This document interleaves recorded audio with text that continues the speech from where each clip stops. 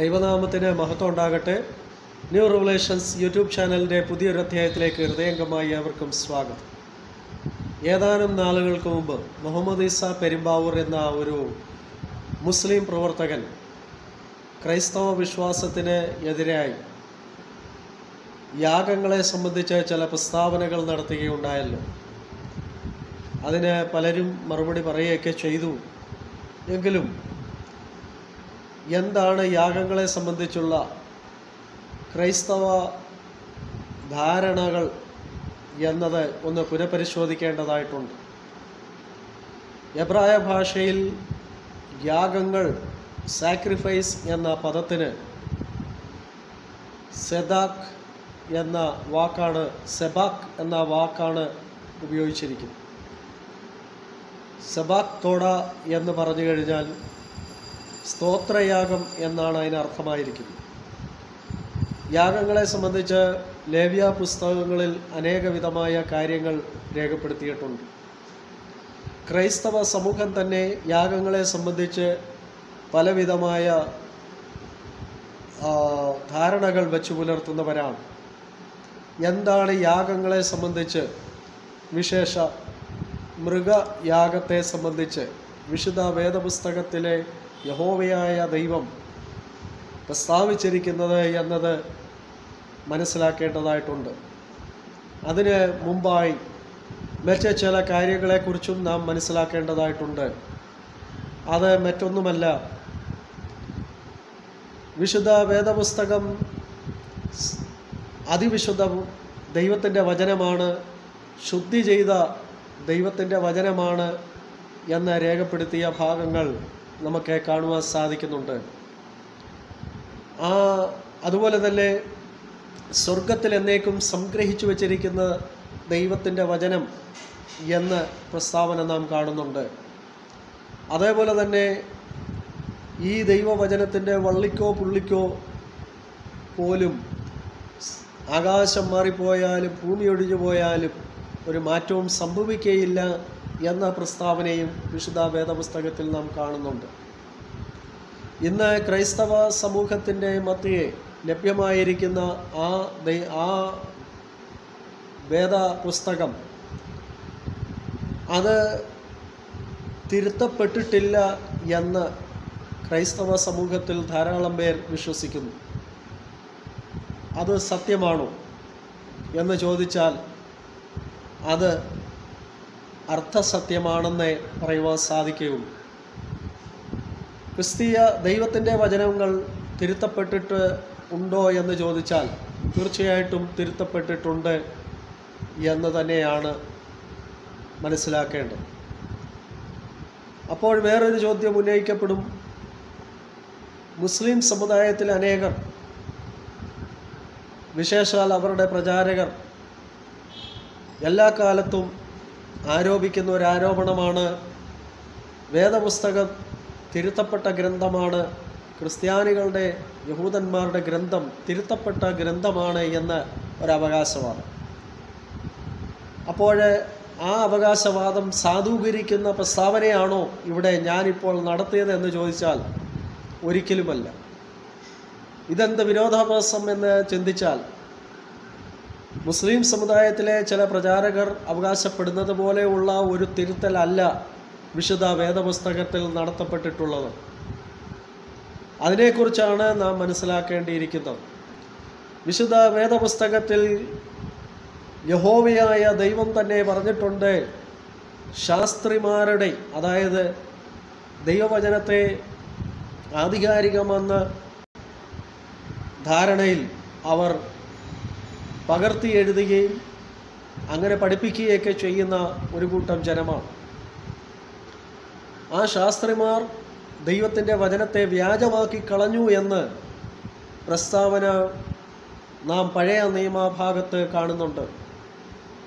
അതുപോലെ തന്നെ യഹോവയായ ദൈവം പറയുന്നുണ്ട് കള്ളപ്രവാചകന്മാരെ കുറിച്ച് പറയുന്നു. അവർ ദൈവജനത്തിന്റെ ഇടയിൽ തന്നെ ഉണ്ടായിരുന്നു. അവർ ഞാൻ അയക്കാതിരിക്കെ അവർ എന്റെ നാമത്തിൽ ഭോഷ്ക പ്രവചിക്കുന്നു എന്ന് പ്രസ്താവിച്ച വേദഭാഗങ്ങൾ നമുക്ക് കാണുവാൻ സാധിക്കുന്നുണ്ട്. അതേപോലെ തന്നെ സത്യത്തെ യഥാർത്ഥ സത്യം ദൈവത്തിന്റെ വചനത്തിന്റെ യാഥാർത്ഥ്യമായ നിലയിൽ വ്യാഖ്യാനിക്കുന്ന പ്രവാചകന്മാർ നിലനിൽക്കുമ്പോൾ തന്നെ ദൈവവചനത്തെ മറ്റ് പല വിധത്തിൽ വ്യാഖ്യാനിക്കുന്ന വ്യാഖ്യാന പ്രവാചകന്മാരും ആ കാലഘട്ടത്തിൽ നിലനിന്നിരുന്നു. ഇത് ഈ കാലഘട്ടത്തിലും നടന്നുകൊണ്ടിരിക്കുന്ന ഒരു വിഷയം തന്നെയാണ്. ക്രൈസ്തവ സമൂഹത്തിന്റെ മധ്യയെ ഈ കാലഘട്ടത്തിലും സത്യപ്രവാചകന്മാരും അസത്യം ഉപദേശിക്കുന്ന ഉപദേഷ്ടാക്കന്മാരും ധാരാളമായി ഉണ്ട ഉള്ള ഒരു കാലമാണ്. അതുകൊണ്ട് ആ വിധത്തിൽ ഒരു തിരുത്തൽ തീർച്ചയായിട്ടും ദൈവവചനത്തിൽ സംഭവിച്ചിട്ടുണ്ട്. ഏത് വിധത്തിൽ? ഇത് വ്യാഖ്യാനിക്കുന്ന ദൈവം എന്തർത്ഥത്തിൽ ഉദ്ദേശിച്ചോ ആ അർത്ഥത്തിന് വ്യതിചലനമുണ്ടാക്കുന്ന വിധത്തിൽ മറ്റൊരർത്ഥം കൽപ്പിക്കുന്ന നിലയിൽ വ്യാഖ്യാനിക്കുന്ന വിധത്തിൽ അതിനൊരു തിരുത്തൽ ഉണ്ടായിട്ടുണ്ട് എന്നതാണ് ഞാനിവിടെ പറയുവാൻ താല്പര്യപ്പെടുന്നത് നമുക്കറിയാം മെസ്സിഹ വരും. യഹോവയായ ദൈവം മാനവജാതിയുടെ രക്ഷയ്ക്കായി മനുഷ്യനായി ഈ ഭൂമിയിൽ അവതരിക്കുമെന്ന പ്രസ്താവന വിശുദ്ധ വേദപുസ്തകത്തിലെ പഴയ നിയമഭാഗങ്ങളിൽ നാം കാണുന്നുണ്ട്. ശാസ്ത്രിമാരും പ്രവാച പുരോഹിതന്മാരും യഹൂദ പുരോഹിതന്മാരും ഒക്കെ അത് വിശ്വസിച്ചിരുന്നു. യഹൂദ ജനത്തിൽ അനേകർ അത് വിശ്വസിച്ചിരുന്നു. ആ ദൈവത്തിന്റെ വചനം അവരുടെ ആ തോറ അവരുടെ കയ്യിൽ ഇരിക്കുമ്പോൾ തന്നെ ആരെക്കുറിച്ചാണോ അവർ പ്രതീക്ഷയോടെ കാത്തിരിക്കുന്നത്? ആ പ്രതീക്ഷിക്കുന്ന മെസ്സിഹ തന്നെ അവരുടെ ഇടയിൽ അവരുടെ മുമ്പിൽ പ്രത്യക്ഷനായിട്ട് അവതരിച്ചിട്ട് അവരുടെ മുമ്പിൽ ജീവിച്ച് കാണിച്ചിട്ട് അവരിൽ പലർക്കും അത് വിശ്വസിക്കുവാൻ കഴിഞ്ഞില്ല. അവർക്ക് വിശ്വസിക്കാൻ കഴിഞ്ഞില്ല എന്ന് മാത്രമല്ല അവരുടെ ജീവിത ജീവിതത്തിൽ പല സ്വാധീനം നടത്തിയിട്ടും അവരുടെ രോഗങ്ങൾക്ക് പരിഹാരം വരുത്തിയിട്ടും അത്ഭുതങ്ങളും വീര്യപ്രവൃത്തികളും ഒക്കെ കാണിച്ചിട്ടും അവർ മെസ്സിഹ തിരുവഴുത്തിൽ പറയുന്ന മെസ്സിഹ ഈ യേശുവാണെന്ന് അവർ വിശ്വസിച്ചില്ല. അവർ തിരുവെഴുത്തുകളെ പരിശോധിക്കുകയും അവയെ വ്യാഖ്യാനിക്കുകയും പകർത്തി എഴുതുകയും ചെയ്യുന്ന ശാസ്ത്രിമാരാണ്. പ്രവാചകന്മാരാണ് മഹാപുരോഹിതന്മാരാണ്. എങ്കിലും അവർ പണ്ഡിതന്മാരാണ് എങ്കിലും മസിഹ ആരെക്കുറിച്ച് അവർ പ്രതീക്ഷയോടെ കാത്തിരുന്നോ? ആ പ്രതീക്ഷിച്ചവൻ അവരുടെ മുമ്പിൽ വെളിപ്പെട്ടിട്ടും അവരുടെ അവരുടെ അടുത്ത് വസിക്കുമ്പോഴും അവർക്ക് ഈ മെസ്സിഹ തമ്പുരാനിൽ വിശ്വസിക്കുവാൻ കഴിഞ്ഞില്ല എന്നത് ഒരു വ്യാഖ്യാനത്തിന്റെ ഒരു തിരുത്തലിന്റെ പ്രശ്നമായിട്ട് കാണേണ്ടതായിട്ടുണ്ട്. അതുപോലെ തന്നെ തൃത്വോപദേശം ഈ കാലഘട്ടത്തിൽ വളരെ ചർച്ചാ വിഷയമാകുന്ന ഒരു വിഷയമാണ്. ക്രൈസ്തവ സമൂഹത്തിൽ തൃത്വ വിഷയം തന്നെ വലിയ വാദ പ്രതിവാദങ്ങൾക്ക് കാരണമായി തീരാറുണ്ട്. അത് താങ്കൾക്കും അറിയാവുന്ന കാര്യം തന്നെയാണ്. മറ്റൊരു വിഷയമാണ് കർത്താവായ യേശു ക്രിസ്തുവിന്റെ രണ്ടാം വരവ്. അതിനെ സംബന്ധിച്ച് അനേകവിധമായ വാദപ്രതിവാദങ്ങൾ നടന്നുകൊണ്ടിരിക്കുകയാണ്.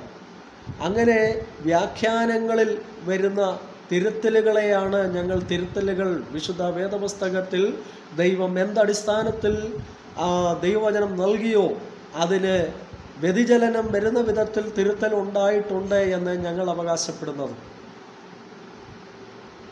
മറ്റൊരു വിഷയം കൂടി പറയാം. ഈ കാലഘട്ടത്തിൽ മാത്രമല്ല എല്ലാ കാലഘട്ടത്തിലും യേശു കർത്താവിന് മുമ്പും യേശു ക്രിസ്താവിന് ശേഷവും യേശു ക്രിസ്താ കർത്താവിന്റെ കാലഘട്ടത്തിലും ക്രൈ ദൈവ വചനപ്രകാരം ജീവിച്ചാൽ ഭൗമികമായ നന്മകൾ കിട്ടുമോ എന്ന ഒരു ചോദ്യം നിലനിന്നിരുന്നു.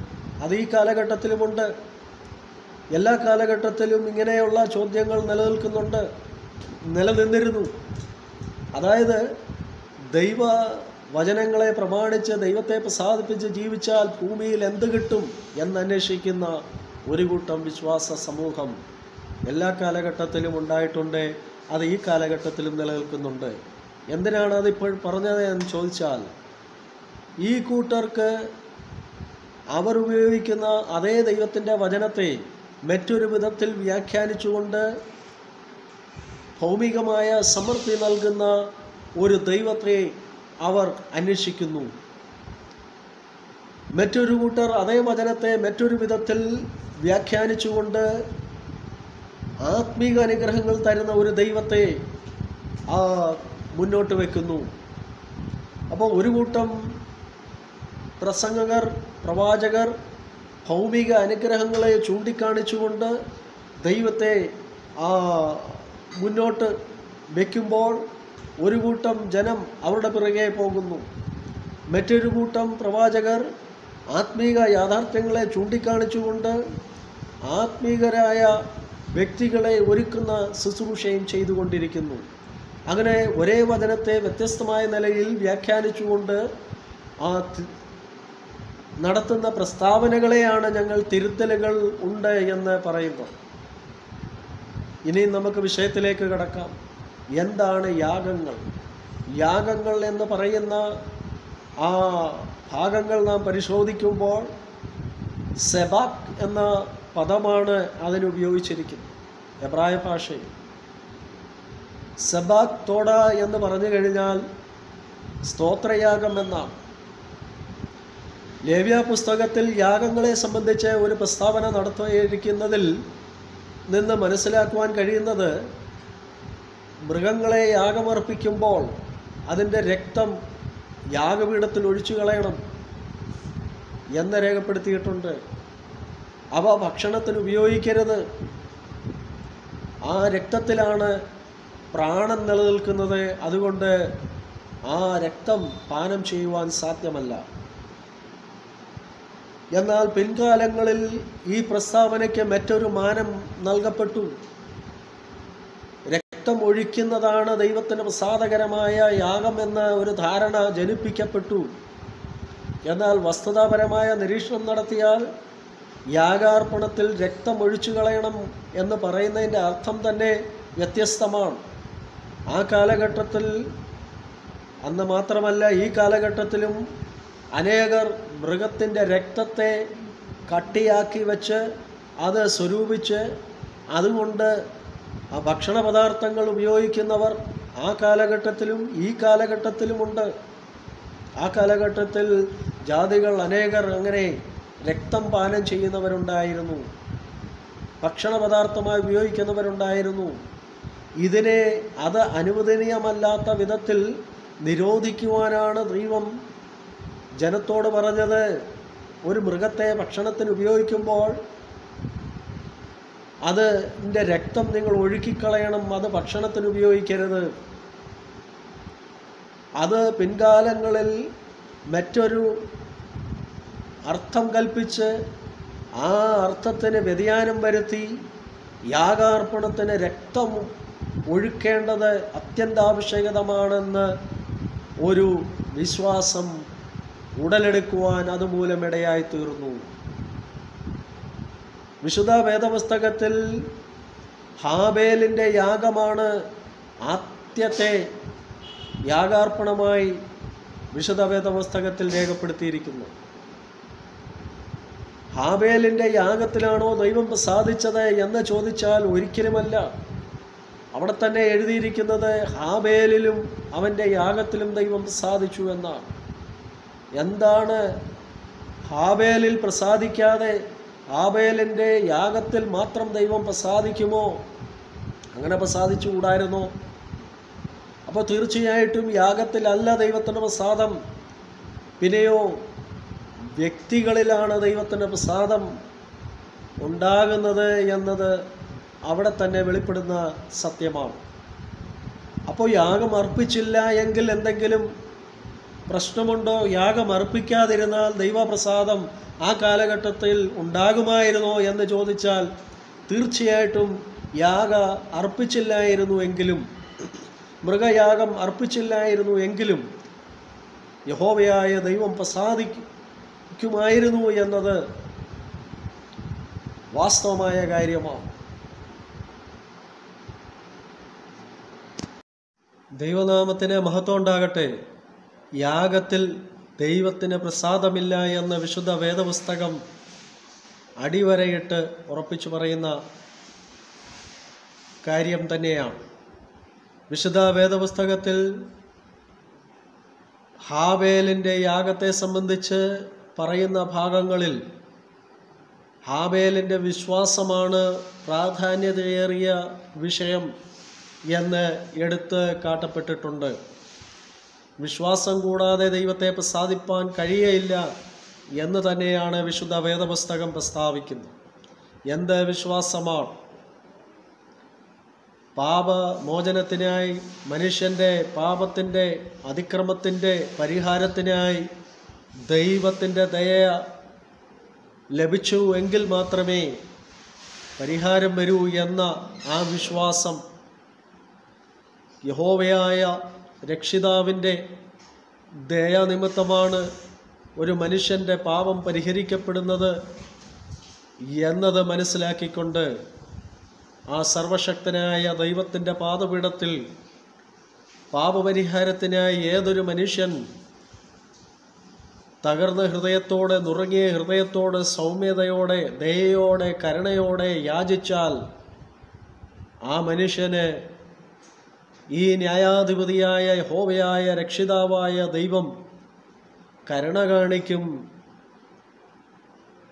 ഇതാണ് വിശുദ്ധ വേദപുസ്തകം മുന്നോട്ട് വെക്കുന്ന വിശ്വാസത്തിന്റെ പ്രമാണം. ഈ പ്രമാണം അംഗീകരിക്കുകയും അത് പ്രമാണിക്കുവാൻ ഏൽപ്പിക്കപ്പെടുകയും ചെയ്ത ഹാബേലിന്റെ യാഗത്തിൽ ദൈവം പ്രസാദിച്ചു എന്നാണ് രേഖപ്പെടുത്തിയിരിക്കുന്നത്. ഇവിടെ യാഗം എന്ന പദം മാത്രമാണ് ഒരു പ്രശ്നമായിരിക്കുന്നത്. ആ പദം യഥാർത്ഥത്തിൽ ഒരു സദ്യ നടത്തിയ കാര്യമാണെന്നത് പലരും അംഗീകരിക്കാറില്ല എന്നതൊരു ഖേദകരമായ കാര്യമാണ്. അത് പുറകാലെ നമുക്ക് ചിന്തിക്കാം. ഒന്ന് ശമയോ ഷമുവേൽ പതിനഞ്ചിന്റെ ഇരുപത്തിരണ്ടിൽ യഹോവയുടെ കൽപ്പന അനുസരിക്കുന്നത് പോലെ ഹോമയാഗങ്ങളും ഹനനയാഗങ്ങളും യഹോവയ്ക്ക് പ്രസാദമാകുമോ എന്ന ഒരു ചോദ്യം നിലനിൽക്കുന്നുണ്ട്. ഹോഷയായുടെ പുസ്തകം ആറാം അധ്യായം ആറാം വാക്യത്തിലും മത്തായിയുടെ സുവിശേഷം ഒൻപതാം അധ്യായം മുപ്പത്തി മൂന്നാം വാക്യത്തിലും യഹോവയായ ദൈവം പറയുകയാണ് യാഗത്തിലല്ല ദയയിലും ഹോമയാഗങ്ങളെക്കാൾ ദൈവപരിജ്ഞാനത്തിലുമാണ് ഞാൻ പ്രസാദിക്കുന്നതെന്ന്. അപ്പോൾ അവിടെയും നാം കാണുന്നു യാഗത്തിൽ ദൈവത്തിന് പ്രസാദമില്ല എന്ന്. ആമോസിന്റെ പുസ്തകം അഞ്ചാമധ്യായം ഇരുപത്തി ഒന്നാം വാക്യം തൊട്ട് ഇരുപത്തി നാലാം വാക്യം വരെ നാം വായിക്കുന്നു. ഹോമയാഗങ്ങളും ഭോജനയാഗങ്ങളും അർപ്പിച്ചാലും ഞാൻ പ്രസാദിക്കുകയില്ല. തടിച്ച മൃഗങ്ങളെ കൊണ്ടുള്ള നിങ്ങളുടെ സമാധാന യാഗങ്ങൾ അതായത് സെബ തോട എന്ന് എബ്രായ ഭാഷയിൽ പറയുന്ന ആ സമാധാന യാഗങ്ങളിൽ ദൈവത്തിന് താല്പര്യമില്ല എന്നാണ് കടാക്ഷിക്കയില്ല അതിക്രമങ്ങൾക്ക് അവ പരിഹാരം വരുത്തുകയില്ല എന്ന് തന്നെയാണ് അവിടെ രേഖപ്പെടുത്തിയിരിക്കുന്നത്. ഇതേ കാര്യം തന്നെ യേശു കർത്താവ് മർക്കോസിന്റെ പുസ്തകത്തിലും രേഖപ്പെടുത്തിയിരിക്കുന്നത് നമുക്ക് പരിശോധിക്കാം. മർക്കോസിന്റെ പുസ്തകം പന്ത്രണ്ടാം അധ്യായം മുപ്പത്തി മൂന്നാം വാക്യത്തിൽ രണ്ട് ശാസ്ത്രിമാർ തമ്മിലുണ്ടായ വാഗ്വാദത്തിനൊടുവിൽ യേശു കർത്താവിനോട് അവർ അതിൽ ഒരാൾ ചോദിക്കുന്ന ചോദ്യത്തിന് യേശു കർത്താവ് നൽകുന്ന മറുപടിയാണ് ഏറ്റവും മുഖ്യ കൽപ്പന ഏതാണെന്ന് കർത്താവായ യേശുക്രിസ്തു അതിന് മറുപടി കൊടുത്തു കഴിയുമ്പോൾ ആ ശാസ്ത്രി നാം മുമ്പേ കേട്ടു ശാസ്ത്രി എന്ന് പറയുന്നത് തിരുവഴുത്തുകളെ ആ ആധികാരികമായി പഠിക്കുകയും വ്യാഖ്യാനിക്കുകയും പകർത്തി എഴുതുകയും ചെയ്യുന്ന ആൾക്കാരാണ്. ആ ശാസ്ത്രി പറയുകയാണ് അതെ നീ പറഞ്ഞത് ശരിയാണ് ഗുരു. ഏറ്റവും മുഖ്യ കൽപ്പന ഹനനയാഗത്തെക്കാളും ഹോമയ സർവാംഗ ഹോമങ്ങളെക്കാളും ദൈവത്തിന് പ്രസാദകരമായിരിക്കുന്നത് ദൈവത്തെയും കൂട്ടുകാരെയും തന്നെ പോലെ തന്നെ സ്നേഹിക്കുന്ന വിഷയമാണെന്ന് അവിടെ രേഖപ്പെടുത്തിയിരിക്കുന്നു. അതേപോലെ തന്നെ മീഖായുടെ പുസ്തകം ആറാമധ്യായം ആറ് തൊട്ട് എട്ട് വരെയുള്ള വാക്യങ്ങളിലും ഒരു മനുഷ്യന്റെ അതിക്രമത്തിന് വേണ്ടി ഒരു വയസ്സ് പ്രായമുള്ള കാളക്കിടാകോ ആയിരം ആയിരം ആടുകളോ അർപ്പിച്ചാലും ദൈവം ക്ഷമിക്കുമോ എന്ന് ചോദിക്കുന്ന ഒരു പ്രവാചകനെ നമുക്ക് അവിടെ കാണുവാൻ സാധിക്കുന്നുണ്ട്. അപ്പോൾ ആ മനുഷ്യന്റെ അതിക്രമത്തിന് ഈ ആടുകളുടെയോ കോലാടുകൊറ്റന്മാരുടെയോ കാളകളുടെയോ മറ്റ് ഏതൊരു വിധത്തിലെ പക്ഷികളുടെയോ യാഗങ്ങളെ കൊണ്ട് അവ പരിഹാരം വരുത്തുവാൻ സാധ്യമല്ല എന്ന് ആ കാലങ്ങളിൽ ചില സത്യപ്രവാചകന്മാർക്ക് അറിവുണ്ടായിരുന്നു എന്നത് ഇവിടെ തെളിയുകയാണ്. മറ്റൊന്ന് യരമ്യാവ് പറയുന്ന കാര്യം വളരെ പ്രസക്തമായ കാര്യമാണ്. യരമ്യാവ് ഏഴാം അധ്യായം ഇരുപത്തിരണ്ട് ഇരുപത്തിമൂന്ന് വാക്യങ്ങളിൽ മിസ്രൈമിൽ നിന്ന് മോശയുടെ നേതൃത്വത്തിൽ പുറപ്പെട്ട ജനത്തോട് ആ യാഗങ്ങളെ സംബന്ധിച്ച് ദൈവം കൽപ്പന കൊടുത്തിട്ടില്ല എന്ന് തന്നെയാണ് രേഖപ്പെടുത്തിയിരിക്കുന്നത്. അപ്പം മോശയുടെ പുസ്തകത്തിൽ രേഖപ്പെടുത്തിയിരിക്കുന്ന കൽപ്പനകൾ ഏതാണെന്ന് ചോദിച്ചാൽ ശാസ്ത്രിമാര് ചില വസ്തുതകളെ ആ വളച്ചൊടിച്ചതിന്റെ പരിണത ഫലമാണെന്ന് പറയുന്നതിൽ ഞങ്ങൾക്ക്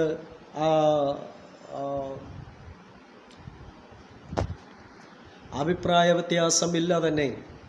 അവിടെ ആ സംഭവിച്ച കാര്യങ്ങൾ വ്യക്തമായി ദൈവം തന്നെ എരമ്യാവിൽ കൂടി പറയുകയാണ് മിസ്രൈമിൽ നിന്ന് പുറപ്പെട്ട മോശയുടെ നേതൃത്വത്തിൽ പുറപ്പെടുപ്പിച്ച ജനത്തോട് ഹോമയാഗങ്ങളെക്കുറിച്ചോ ഹനനയാഗങ്ങളെക്കുറിച്ചോ ഞാൻ ഒരു കൽപ്പനയും നൽകിയിട്ടില്ല. പിന്നെ വേദപുസ്തകത്തിൽ കാണപ്പെടുന്ന ആ വിധികളൊക്കെ ആ ചില ശാസ്ത്രിമാരുടെ കൈക്കടത്തലിന്റെ പരിണിത ഫലമാണെന്ന് മാത്രം രേഖ പറഞ്ഞുകൊണ്ട് എന്റെ വാക്കുകളെ ഞാൻ അവിടെ നിർത്തുകയാണ്. യശയാവിന്റെ പുസ്തകം ഒന്നാമത്തെയായും പന്ത്രണ്ടാം വാക്യത്തിലും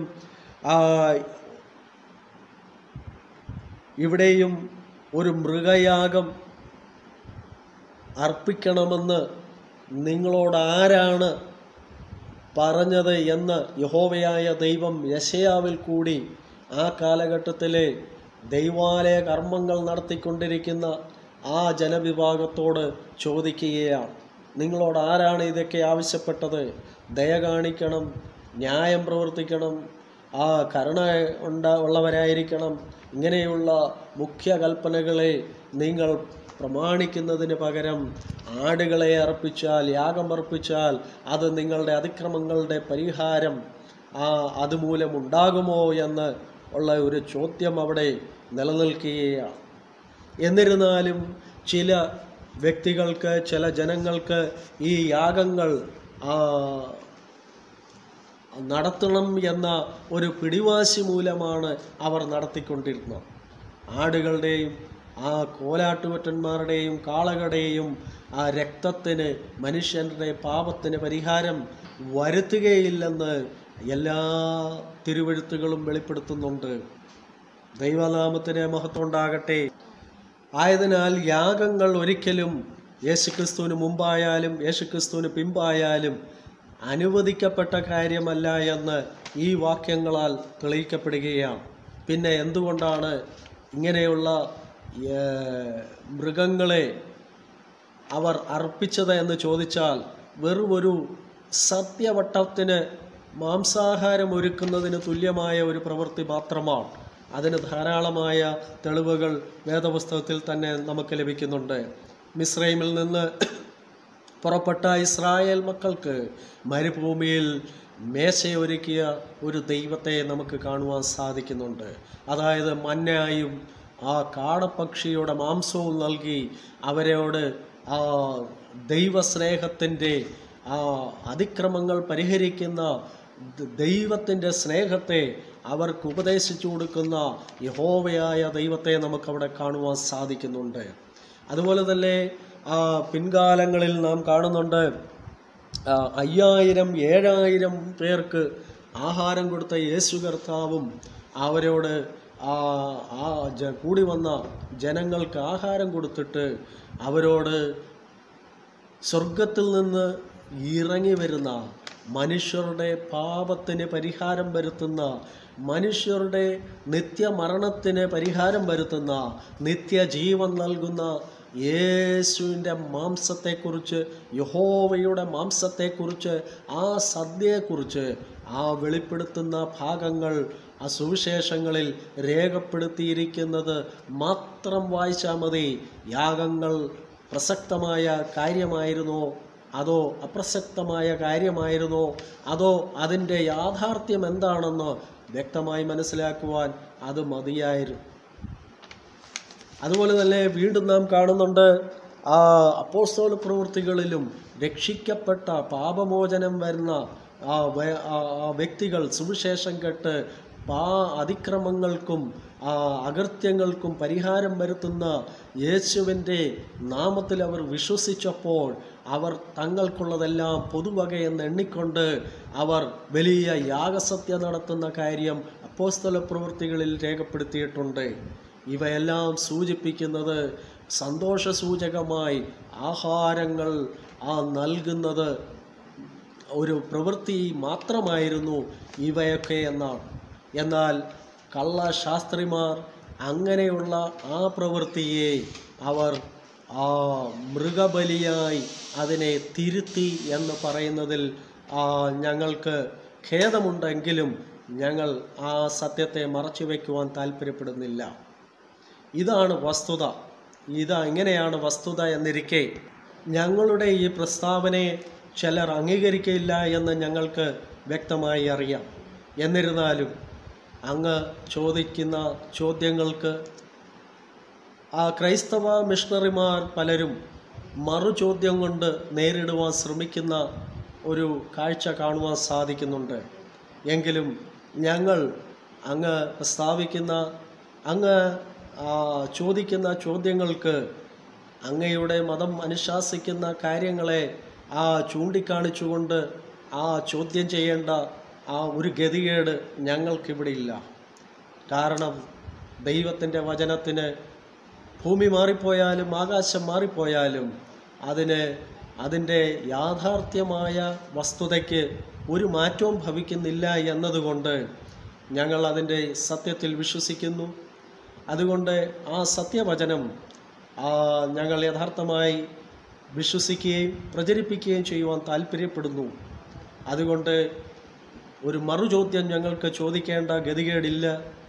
ഞങ്ങൾ വിശ്വസിക്കുന്ന കാര്യം സന്തോഷസൂചകമായി ആഹാരം നൽകുന്നത് ഒരു ദൈവാലയ കർമാചാരമായി മാറ്റിയ ശാസ്ത്രിമാർ ആ കാലഘട്ടത്തിലുണ്ടായിരുന്നു ഈ കാലഘട്ടത്തിലും അങ്ങനെയുള്ള ശാസ്ത്രിമാർ മൂലമാണ് സത്യദൈവത്തിന്റെ വചനം തിരുത്തപ്പെടുന്ന വിധത്തിൽ ദുർവ്യാഖ്യാനം ചെയ്യപ്പെടുന്നത്.